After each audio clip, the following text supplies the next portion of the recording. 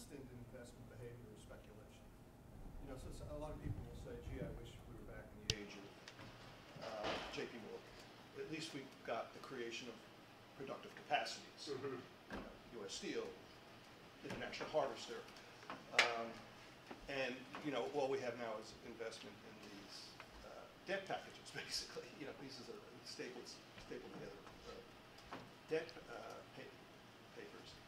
Um, but what's interesting about both eras, even in, the age of J.P. Morgan, it's still speculation, and you get the same kind of crisis in that, as you refer to, is that sometimes, and often called the accumulation crisis, is there's not, you don't know what to invest in, and sometimes there's too much to invest in. So what was done in the past was you build, you speculated too many railroads, you know, and hope that you get the, the, the quick return, you know, on this, one of the speculation railroads, and praying that the railroad doesn't even open, but you've made your paper return.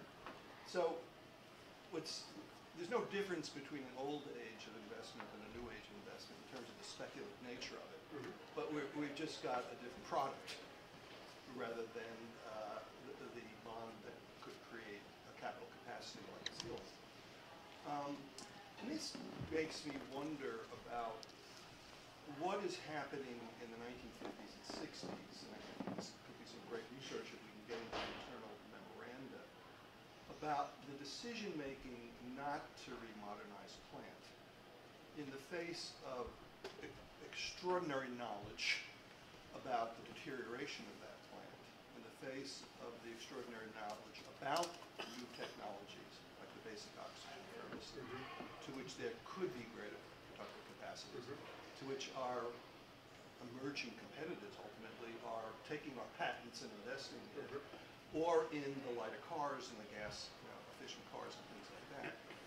And it is a very kind of peculiar uh, accumulation crisis where it, it's, we're going to shift from an investment that creates a, a tangible capital good to putting your money into some often extremely complicated financial instrument, which is pack, the packaging of, of debt.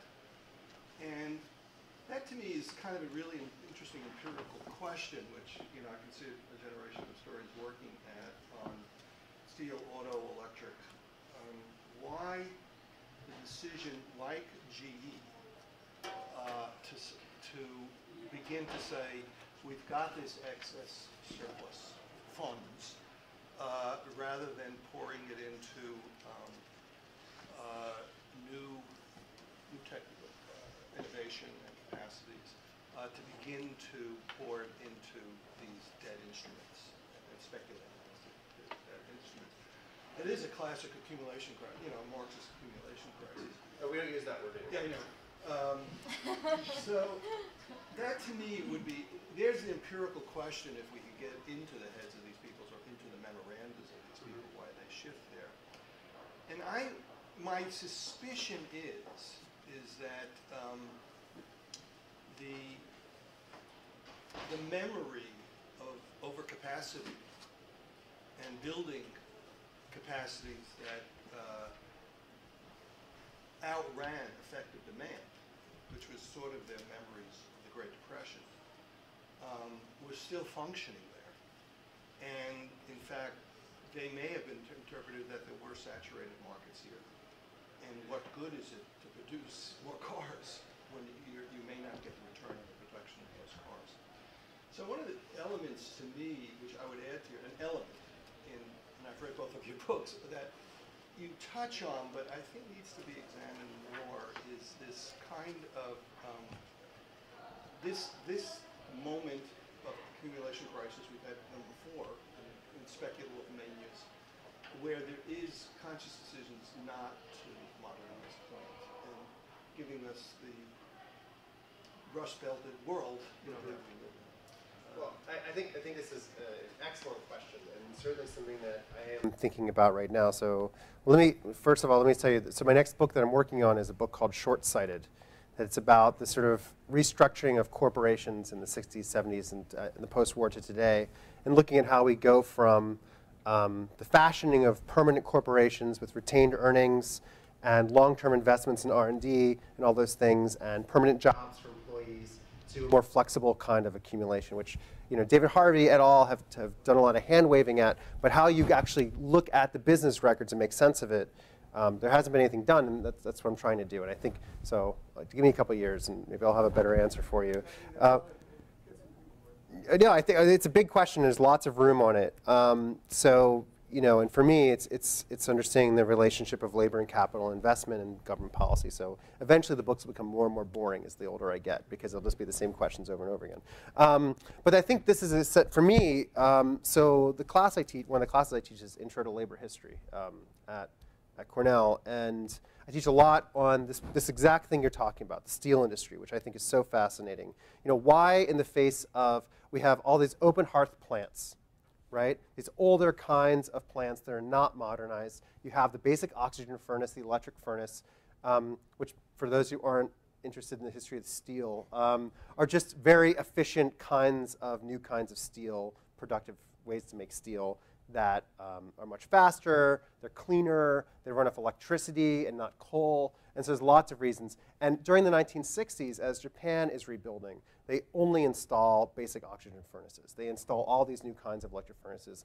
And eventually it portends the emergence of the flexible steel regime that we're in now, where they're made by mini mills. This is in accord with what you're saying. So the question is, why do we not do this? And I think there's, there's uh, a couple answers to it. One, one of the big differences, of course, by the middle of the 20th century from the late 19th century is that the owners no longer run things, right? So you have the emergence of management as a force in and of itself within corporations. Um, and managers are, and I can tell you this from my consulting days, managers are not as uh, big picture oriented as perhaps magnates like JP Morgan would be. So the, the speculation is still there, but as Galbraith wrote, you know, in the new industrial state, by the post-war period, they're less concerned about profit maximization, right? Or if you read Peter Drucker, right, writing his first book in 1954, if you read Peter Drucker, the purpose of business is not to maximize profits. Right? There's many different reasons why we, why we have a business enterprise. Profit is a constraint on our activities rather than the goal of our activities. This is Peter Drucker.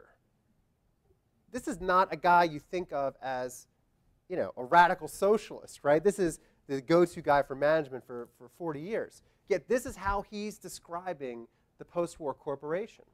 Um, and so when you look at this, and there's actually been, I forget, the name of it escapes me right now. There's a history of Bethlehem Steel. Does anyone remember the name of this book? There's a history of Bethlehem Steel where um, they talk about this. Uh, the author talks about this, um, talking about why Bethlehem Steel in the 50s had this offshore bank they had an offshore bank in like Nassau where they would make sure all their capital from when they bought ore in South America, and they would do this elaborate shenanigans so that when the ore was let, out, uh, let off the boat at Baltimore for it could be used for the Bethlehem steel plant, somehow the accounting would never work out, and they kept all the money that they earned offshore. And they were so psyched about this. They made millions of dollars, and um, hundreds of millions of dollars. They started to set up their own banks offshore in a way that it could be almost like uh, Romney, you know, in his heyday, doing this kind of thing. And yet, what happened was there was a shift in power Bethlehem Steel in the late 1950s, um, and it all got shut down. It all got shut down because the people in charge of Bethlehem Steel in the 1950s didn't believe in finance. They didn't believe in this. This is not what killed the Nazis. What beat the Nazis was steel. What beat the Nazis were tanks. What beat the Nazis were ships, not clever finance. Now, why did they think this? There's a couple, and this is where it gets into the cultural. First of all, um, why are they not interested in finance? That's what Jews do. Right? If you look at the records of the Harvard Business School in the post-war period, you can see that Jews go into finance and real Americans go into production. All right? So there's this rampant anti Semitism in the post war period.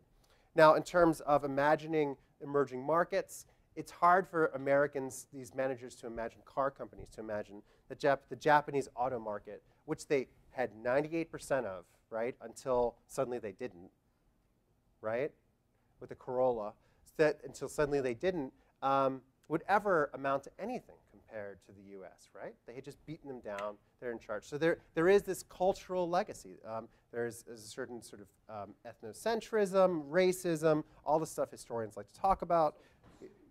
Sitting pretty, you know, we beat them, we don't need to modernize. But there's also the economics of plant modernization too, right? Because as soon as you modernize, all your other plants are worthless.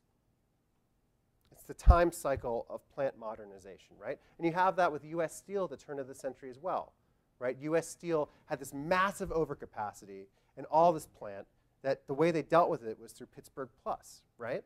By manipulating pricing regimes so that their plants would have um, be able to deal with these kinds of issues. Um, so th- there's a real um, hesitancy among a managerial class to improve what they have, right? They know how this stuff works. They don't want cutting edge things. They know the Bob, who's in charge of this plant, doesn't want to shut down his plant and fire all people. So it's the internal inertia and structure of corporations, I think, um, in the post war that leads to many of these decisions that, in, in a lot of ways, lead to um, um, bad outcomes for the future growth of the American economy. But at the same time, you have huge monopolies um, like AT&T that allow for things like Bell Labs, like that good book uh, that just came out, The Innovation Factory. You know, looking at the ways in which we did enable certain kinds of technologies that we're still living off today, right? Like there's been no fundamental breakthrough in science uh, for what, 50 years, right? I mean, that like our cell phones are 1960s technology, our internet's 60s technology, the space shuttle, which doesn't exist anymore. You know, basically nothing we live in uh, is new. Um, and cell phones and uh, Google don't really employ anybody. And they certainly don't, not types of investment for capital, right? Um, so it's, it's something that is, uh, I'm going on just as long as you did, so that you know, historians can rant. We're good at ranting, right? Um, anyway, but uh, yeah, I think this is an essential problem. Hopefully historians that are not uh, trained by Chandler will begin to see that um, there, the, the lean, fir lean firm is not an aberration, but an actual something akin to that of Sloan in the 1920s and the M-Form Corporation. And part of it's that historiographic, that you just have a generation of people who were trained by Chandler. God bless him, he was a great historian, but has constrained the way we think about corporate organization. Also, people just don't want to write about corporations. They want to write about, you know, the revolutionaries, things like that. So.